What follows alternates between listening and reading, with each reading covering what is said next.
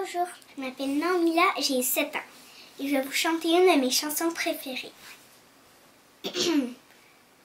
J'allume une étoile au pied de mon lit et je fais des sombres sur le mur fleuri. J'étire mes jambes jusqu'au plafonnier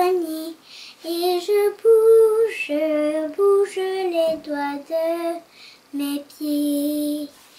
Mes deux mains dessinent de gros animaux sur ma courte pointe et sur mon bureau.